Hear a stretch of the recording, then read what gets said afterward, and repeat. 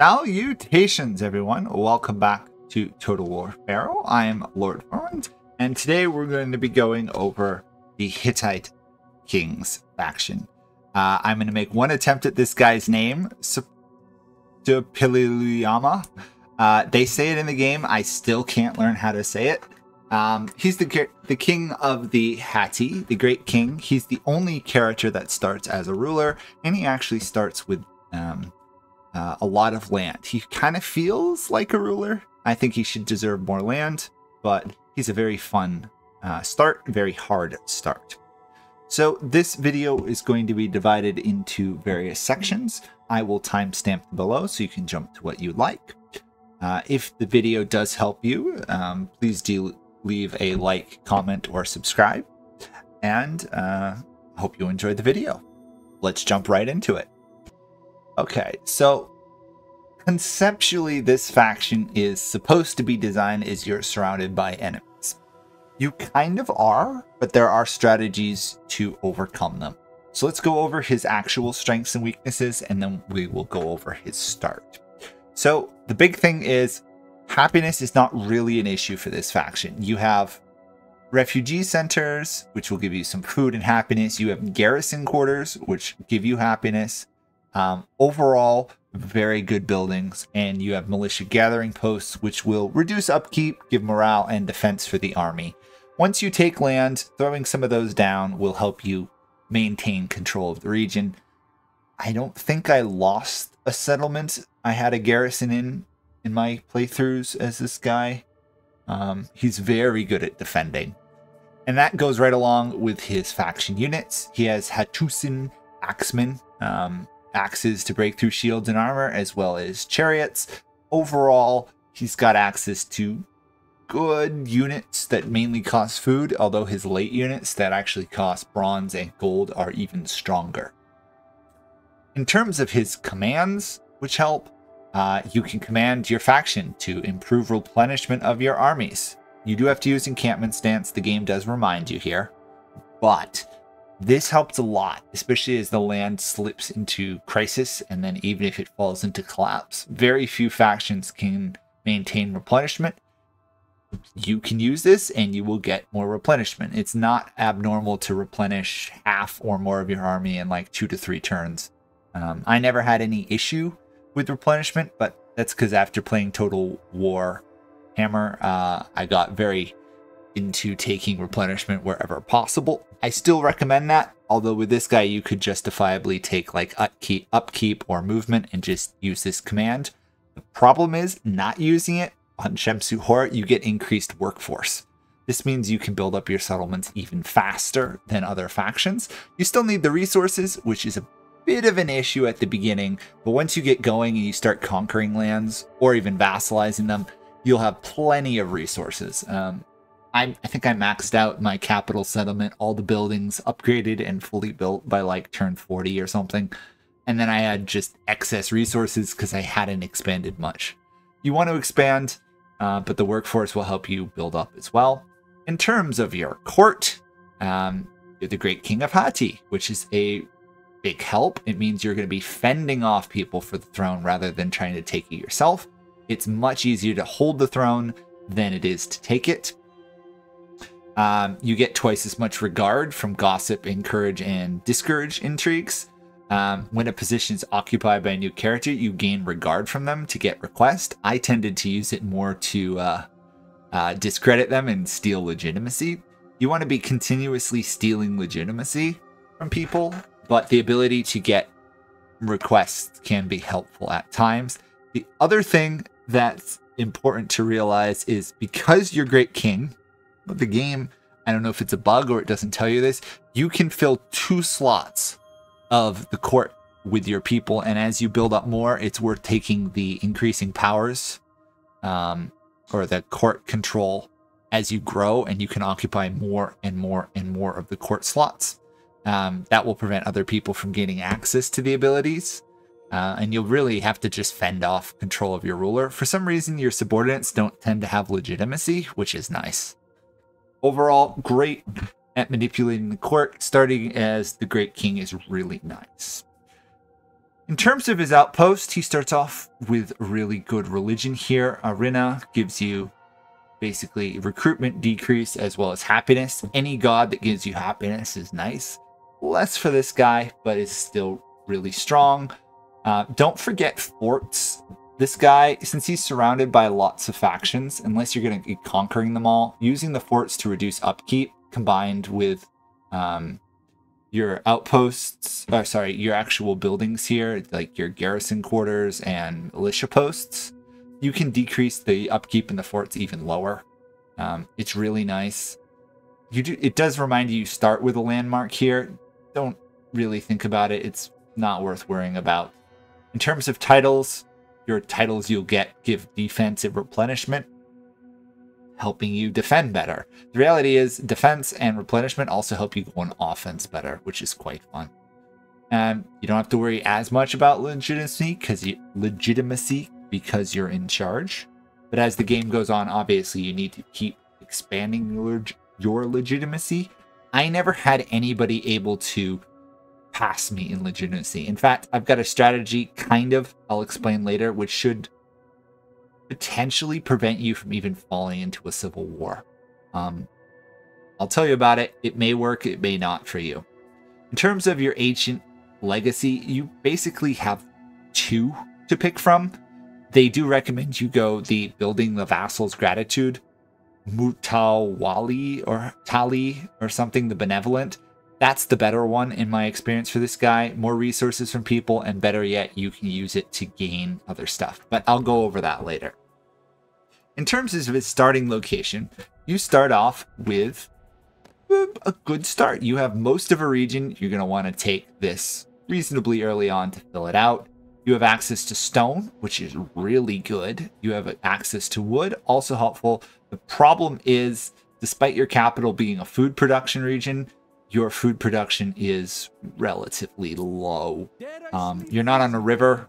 As you can see, it's a bit of an arid landscape. Anatolia, modern day Turkey, is not known for its lush and fertile uh, rivers and farms, especially at this point in history. So you start off with the capital of Hattusa. Um, fascinating, read about its history and stuff. The Hittites are becoming better known as time goes on they were a major civilization and they actually left written records. So uh, if you're interested, definitely worth checking out some stuff about their writing and stuff. Quite cool. Now, in your capital region, you do have access to the Royal Legal Complex, as well as your translator's quarters, um, both of which are extremely important for you. But let's go over actual moves now, and I'll do buildings later. Sorry, I'm getting distracted. There's a lot here. This guy's a fun start. So, your ruler himself, he gets plus four replenishment while encamped. That can build up to 15. Really quite useful, especially as game goes on and replenishment gets lower. Now, the tick, the trick to trying to prevent a civil war is right here with this golden spear, the Great King it's not the weapon you want equipped. You want to equip, click on it, and you want to swap to the Celestial Axe. The reason is the second ability there. Plus 5 diplomatic relations with Hittites, factions wide, available to the sitting Great King. Really useful, improving your relationships with the Hittites. Um, considering these are going to be your main rivals and these people tend to attack you, any reduction Eh, that keeps them happy is really good. Like these guys, they have a faction aversion of negative five just from the start. Throwing on that weapon brings it to zero, meaning they are much less likely to declare war on you. In fact, with a little bit of effort and a couple turns, you can get non-aggression pacts with most of the Hittite factions. Some will still attack you, but it's much easier to fight a one or two fronted war than like a five fronted war. So let's go over starting stuff. So you want to take out this army, which is really easy. I kind of would recommend personally commanding one of these two first fights, though. Otherwise, you will probably lose your chariot. Um, you can take out these guys, immediately march over, take out these guys. But in my experience, you will lose this chariot uh, unless you fight yourself. Now, is that a bad thing? Not necessarily. You have no copper, well, you start off with the default copper. Um, but getting, oh, sorry, bronze. Why do I keep bronze? This brown metal. Um, getting more bronze is a little bit tricky for this faction. Most of the people you're going to be fighting don't have access to bronze. Um, this is the closest bronze settlement, and if you can, it's worth taking, but might not be the most optimal uh, path of expansion. But outside of that, if you look around, these are all gold, stone, and food, gold, stone, wood, food, stuff like that. There's some copper down here, but it's a ways away. Copper is your major issue. There's some over there. You're going to want to get this province if you can. If you can't, you're going to have to make do with non-elite units. So losing a chariot, losing 30 bronze is fine because you may not be able to upkeep it long anyway. Uh, I think you start off with a basic amount of income in every resource except for stone, just starting the game. So this will change as time goes on. Once you've taken this out, you have a couple options. One, you can sit back and build up, which is not a bad move because in my experience, either these guys over here, whatever these guys are, and Syra, or these guys will tend to declare war on you early on. You can preempt this by invading and taking Arinna, which would unite your region. The downside is you'll be at war with these guys, and either of these two factions may declare war on you. These guys will join the Civil War at some point in my experience, but they don't tend to attack you. You do start with a vassal down here, which is nice, except for the fact that factions can declare war on the vassal and then you have to defend them. These guys are good. They have a copper mine, uh, which is nice, except that it's not yours. You get a little bit from sometimes from them as gifts or through diplomacy, but I wouldn't rely on it. These guys, however, though, if you go to war with these factions down here, they will conquer them, in my experience. I had th this vassal alone conquered this area by like turn 60 or 70 without any of my help. It was they're a good vassal. They will handle a lot of problems. You want to keep them happy, basically. Um, I kind of recommend taking Arinna and then trying to push over this way. If you can take this settlement here and this settlement, you will have enough food to really support a full army without going into debt, as well as two stone mines to build up, as well as gold. Taking this settlement, though, is rather difficult in my experience because it's a capital one and they usually have a decent sized army. Ambushing here, luring them out, taking them out, then counterattacking is good. The other thing is you could just vassalize them. Once you control this area, they're going to be weak, pathetic. Having them join will help with uh, the keep your vassals happy legacy type thing. On the other hand, they tend to succeed a lot. Basically, conquer this area is your first move. The other option is you ignore this, which prevents you from uniting the region, which may be problematic, and go after these guys. Um, these guys, in my experience, always attack you. I have not been able to keep them happy with me through diplomacy basically ever. If you look at that, they have a past war. They hate you. It's only going to get worse. That bonus does not solve the problem. Um, taking them out rather than starting another war might be a good idea. Give you some more food and wood. Unfortunately, it's not a full region either. To get the full region, you're going to have to pick a fight with these guys. Now, this is a safer expansion route in some ways. I found these guys to be rather weak and easy to conquer. If left alone, though, they become a powerhouse. With five settlements, they will start invading other areas and conquering them. Plus, it gets you access to copper, some more stone, and food. Eliminating these guys, probably the best strategy, but it depends if these guys attack you, these guys, or these guys first. If these guys are smart enough or dumb enough to attack you, just take them out. They're really easy to overrun. Once you've cemented your area, then it becomes a matter of fending off challengers to the throne. Don't forget that you can you will get legitimacy from your buildings here. They're not amazing, but they're decent. The big way you're going to get more legitimacy though is by building Hittite monuments. So, really good to build. You have access to stone, so it can be worth throwing that one down pretty much on turn one. Um, be aware though that if you don't take out these two armies in like the first couple turns, they tend to sack this Hittite rock sanctuary settlement here or outpost, which hurts your legitimacy and tends to kick off the war. So trying to prevent that, really good move. On the other hand, you already have a Hittite monument in that area. So you need access to more provinces, which is why conquering this area, getting access to another one, as well as these, can really help on the legitimacy front. Um, and we'll go over buildings more. Uh, let's move on to royal decrees. So the Hittite tree of tech tree or royal decree tree is slightly different than the Egyptians. Um, it's important to notice the differences because most people have played the Egyptians and have done guides on the Egyptians.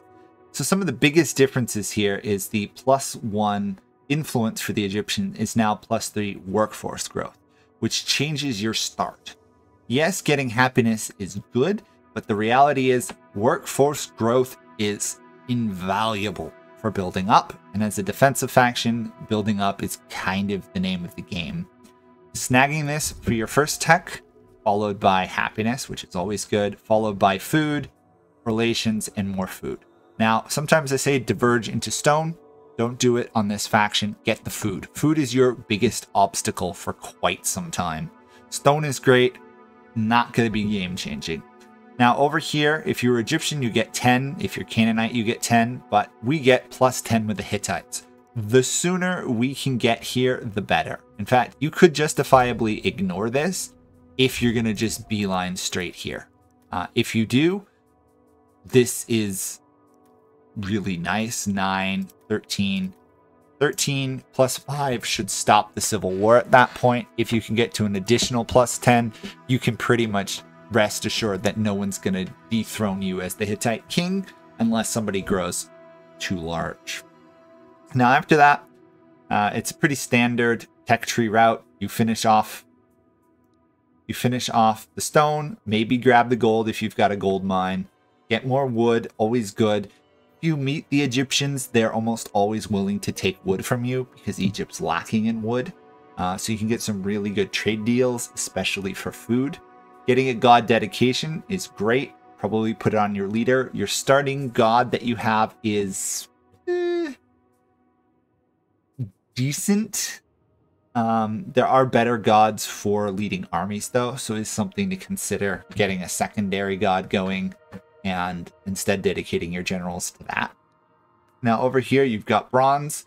You're unlikely to get an alliance with the Egyptians, meaning you don't need the Nile ever given. Because we're not Egyptian, we're unlikely to get that. Instead, we have access to some other stuff. We want to look over here to the bond between brothers. If you can get alliance with another Hittite faction, I recommend the other playable Hittite one if you're going to find somebody. He's not as big of a threat as he seems, and he doesn't hate you that much, so it's viable to get an alliance with him. If you do, and you have bronze, plus 15 bronze, it's great.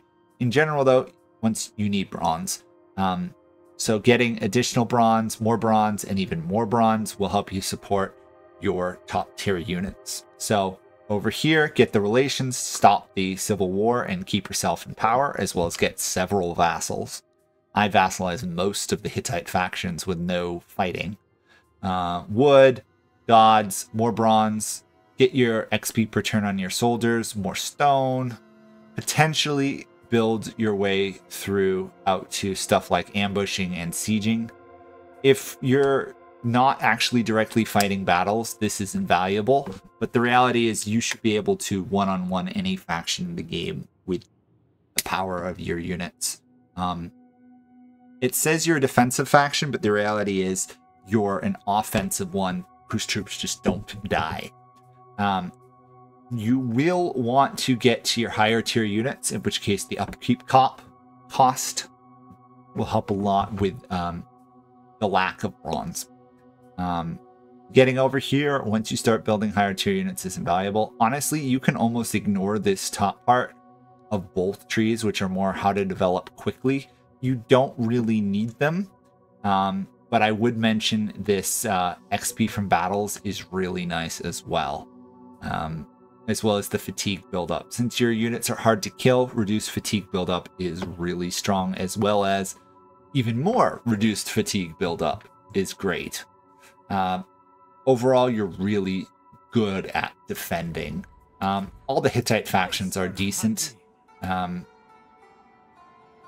but, I mean, if you look at them, the Hittite Axeman is going to be your main uh, offensive unit once you get uh, bronze. But prior to that, the Hattusan Swordsman is going to be the meat of your armies.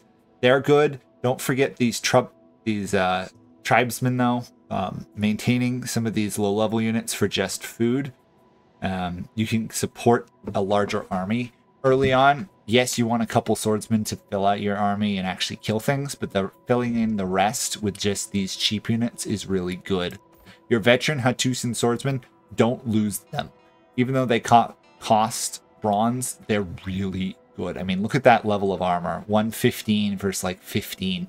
They're nigh on unkillable, and once you unlock the special recruitments, as well as gifts from your vassals, it's really easy to build up powerful armies as this guy.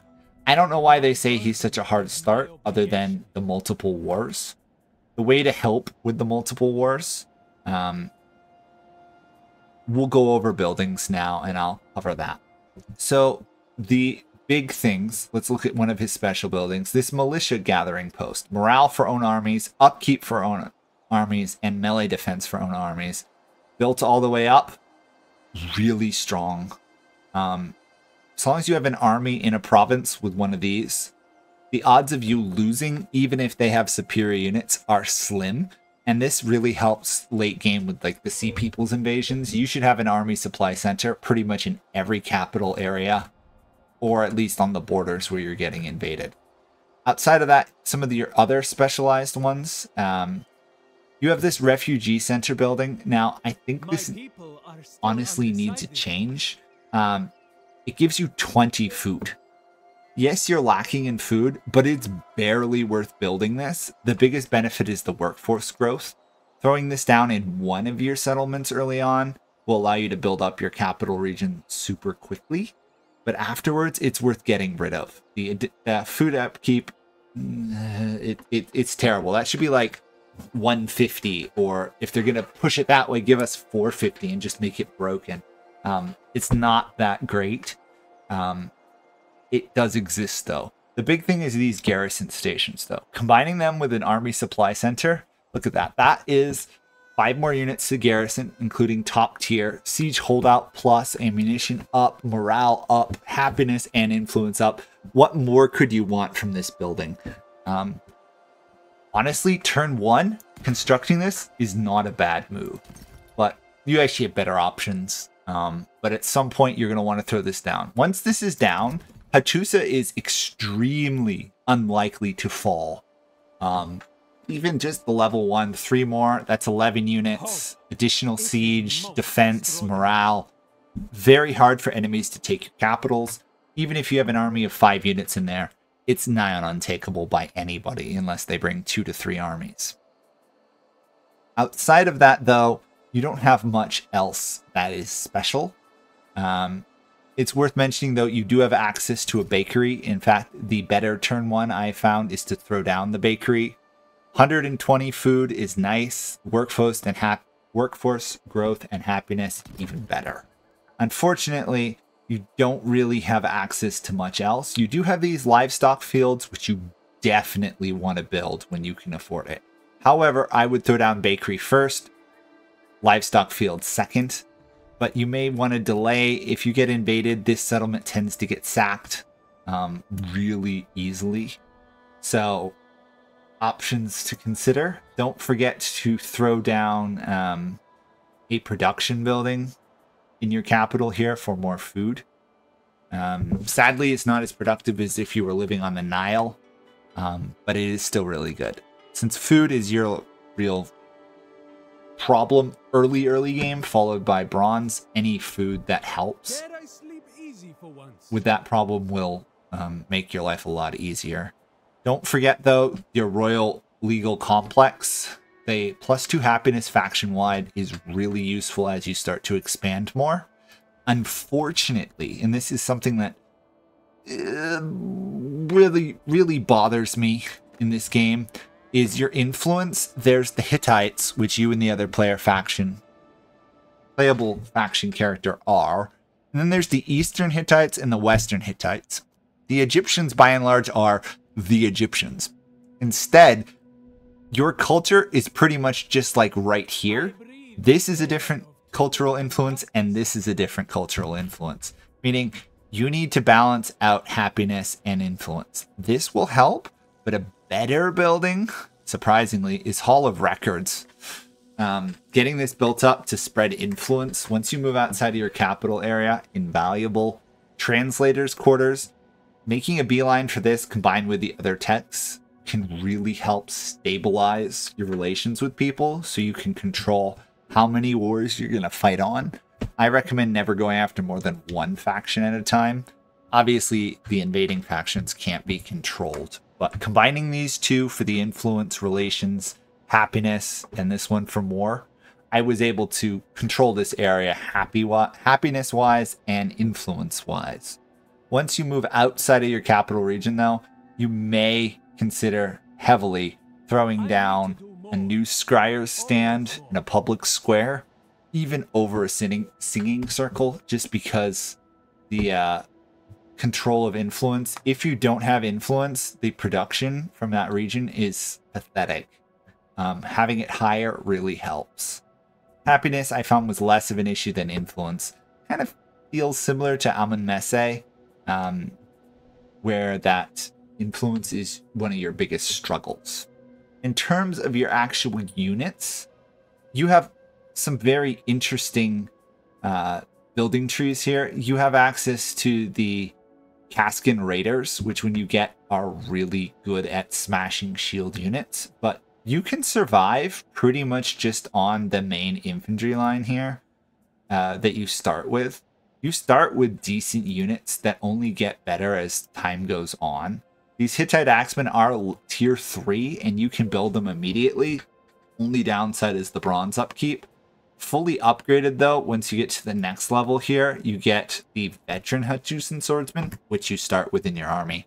Um, this is the bread and butter I found of your main line, um, especially versus invaders.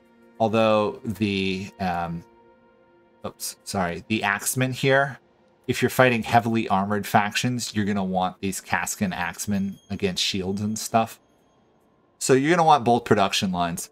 The reality, though, is in your capital, you're not going to have space to build all of these. So focus really on resources and maybe upgrade your defense, your offensive buildings, but make some other settlement like this one over here your main production center.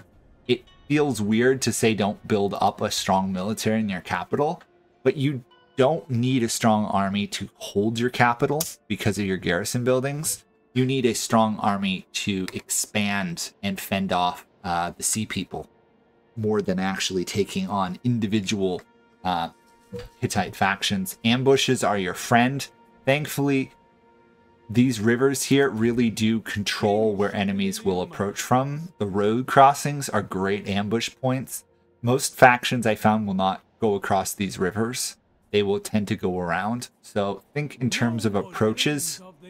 And remember that if you have forts or watchtowers, it pretty much stops movement past especially if you can get in a. Um, there are some really good choke points in this game, uh, like right here. If you build a fort or a watchtower, enemies just simply cannot get through that without taking out your defense first. I wish you could build your own because right there looks pretty nice. There's a couple places where you could get some great defensive points. It becomes more important. The reason I'm mentioning it is as you expand out of your territory towards narrow mountain passes, also, can we appreciate that they put time into creating some really cool mountains? Um, becomes more invaluable. So now we've kind of gone over a lot of the buildings. Standard build up, get a lot of resources, focus on your action strength, avoid the refugee centers pretty much unless you need the growth. Don't forget that you can do happiness and influence through the um, oh, what are they called? The uh, management buildings. And if you're struggling to gather resources, check your influence because you may be lacking it. Let's move on to the legacies. So here we are on turn 70. This is my personal lands here. As you can see, I didn't take out these guys and I've been regretting it ever since. Um, I think that was this campaign. Because as you can see, they've started to pick off minor settlements and are becoming a real problem. I'm gonna have to kill them off soon after this. I uh, eliminated them. But the more important thing is the diplomatic status. So I have several um, allies. Actually, these are vassals. It says allies, but they're actually vassals here. So as you can see, I've gotten a few vassals. I got some more as time went on. As you can see, people are not particularly opposed to becoming my subjects. Their relations with me are slowly getting better as I keep the, uh, oops, always get that confused. This royal decree with the relations really comes into its own in terms of getting subjects. I'm just kind of showing you a game and how it can go, especially if you expand up here first. Really eliminating these guys would have been a better move. Now, in terms of legacies, this is the one I recommend, the Benevolent. It's the one recommended for this guy anyway. The other one, you have to have vassals to use and can be useful in terms of developing generals and keeping them happy and stuff. But the reality is this one's just, I think, better. Um, big benefit here, and I'll just go over it quickly, is you have this gratitude bar, which will improve your courtesy gifts, which will randomly come from your vassals and can be quite substantial, but by and large are average. You have this gratitude with them, which is based to a large degree on your relations. Um, it's not hard to keep them happy. Be aware that your own provincial happiness also comes into gratitude. So you keep your populace happy, which is not that hard. Um, this is a province I conquered reasonably recently. Everywhere else loves me. You get access to these tokens of gratitude. So these have various benefits. Um, the big one here I found was expert builders. Gain one use of instant construction in any settlement. So it costs me basically one bar. But then once I start building a settlement, I can click instant builders. The building is done. Uh, it was very easy to raise up my capital. Now, if you want more equipment and you don't have a lot, I found I had too much. You can gain it here. Getting embedded informants. Um, can be quite nice. You get access to whatever that faction sees for some time. Uh, court attendance, you get an additional court action, which is nice, especially if someone starts to get too too much legitimacy. Picking on them is nice. Or if you want more requests, remember every time someone gets a court position, you can do a request from them. This combos nicely and tempered by war. Um, it's quite nice. XP from battles goes up. Only useful if you're actually going to fight battles. Otherwise, I kind of just ignored this. Uh, it's not hard to have your army build up to a decent level. As you can see, I've had most of these Hattusan swordsmen for most of the game. They're rank 4. The ones I started with are rank 6. Additional XP is nice, but not game changing. Some of my other ones are getting up there in terms of ranks. Do remember though, you do have these special recruitments, especially the Royal Hittite units. If you've got bronze, these are invaluable. This thing is monster. When I use this late game, it's a tier 6 unit. It's not wrong. Uh, really strong. Now, the other thing is vassals, and a good reason for keeping the vassals happy and stuff. Um, you get vassals you can just instantly recruit. If you played Total Warhammer, these would be like your regiments of renowned or your vast uh, allies, ones you might get to an outpost. These can be good. Since you're Hittite, most of these are Hittite units, so you kind of already know how good they are. Um, be aware, these Hittite tribesmen units I thought were absolutely horrendously bad, but they actually do a decent job of what I want them to do, so don't forget they exist. The big benefit is the expendable, meaning my main line of units here, don't route when these die. Sacrificial units. Same thing with these axemen over here. Great to kind of throw out there, have do some damage. These guys are sadly not expendable, but they do have misc walkers and stuff. And in terms of his titles here, the uh, one you want to throw in at the beginning, and I should have mentioned it, is increased battle loot. But as the game goes on, reduced upkeep of food. If you can get to this, really good at maintaining a larger army. Um, early on, though, this recruitment rank, really useful. You've got a lot of options. Let's just put it mildly. This guy, if you survive the early game, probably the strongest or closest to strongest faction in the game. not best at producing resources, but the ability to have your breakthrough charges cause fear, all amazing units. The Hittites were renowned warriors. Um, the Egyptians feared them on the battlefield, and vice versa. So it makes sense if you survive, you become a monster. As you can see, looking at the court, nobody is even close to my legitimacy. And most of it, very few from battles, mostly sacred land, court plots, monuments, and landmarks. And I haven't even had to try. Like, we look here, I've not built any uh, uh, monuments or anything. That's just simply from the faction itself. Uh, very strong, very powerful. Uh, over here is, sorry, I should just do this before I forget, is the influence. As you can see, we're struggling to maintain influence and culture. It's rather annoying. Um, I've had to build some influence, and even then I'm struggling. So I'm only getting 50% from bronze and gold in this region. Thankfully, it doesn't affect stone. Um, otherwise, it would be nigh on unmanageable. But be aware that if you own this land, there are quite a few invaders that come this way. I don't, I guess they're coming from the Black Sea, but uh, it's really hard to react to them with how fast they can swarm through here.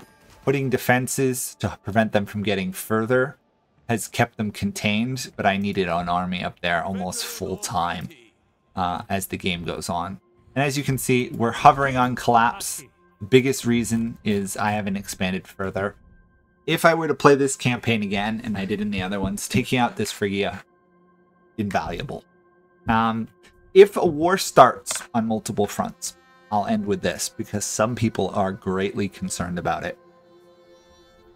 You're going to want to ambush and you're going to want to peace out. Um, it's not the worst thing to pay people to leave wars. Most factions in the area lack food, even though there are a lot of food settlements. And if they're not lacking in food, they're lacking in stone.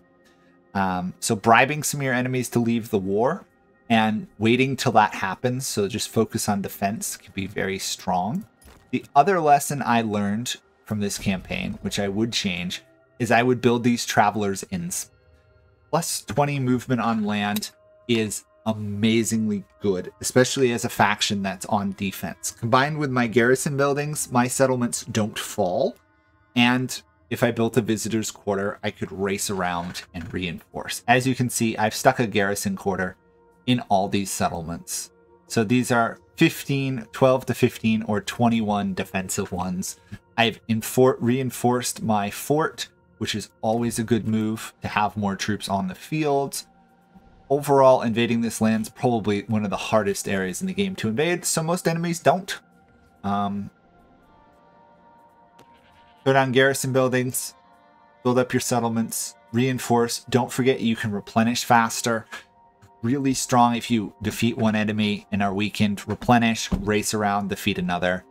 If you start collapsing, as in all your enemies on all sides are at war with you, just restart the campaign. I'm not kidding. Um, throwing on that axe to give the diplomatic relations, getting the tech. As you can see, I'm not really at war with anybody except for the invaders. So, very easy to maintain happiness in Anatolia uh, among the Hittites. Even the other playable one here, he actually likes me. Um, he's one of the people you could, if you wanted an alliance, get. Now, the issue is, and I will say this in the long run, is Irsu tends to come up this way. I don't know why he goes north. I guess because Bay goes south. But Irsu can cause some problems once he arrives. It can be worth once he get he gets here actually declaring war on him and pushing him out, regaining some of the Hittite lands to the south. Um, doesn't go too far south, but picking him off, preventing him from expanding.